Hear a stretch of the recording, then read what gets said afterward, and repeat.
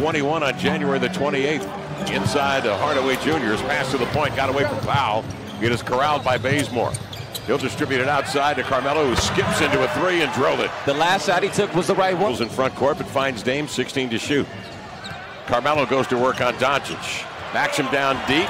Bully ball to the rim. He'll lay it up and in. Carmelo, there's none better at that little post up pump fake. Bench came in, made contributions.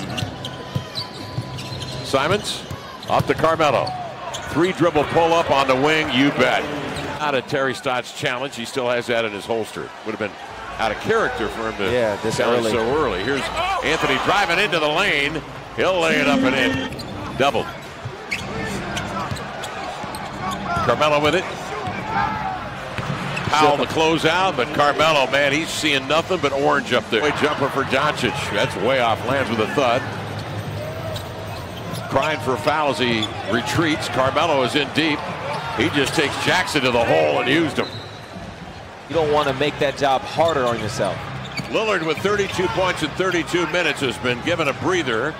Simons will initiate the playmaking, and Carmelo will take over from there. Melo again on the catch. He'll hold that ball over his head, and he's in triple threat position. He was trying to get some hot tea and fluids in him on the bus on the way over. Here's Simons with him. Hooks it outside to Anthony.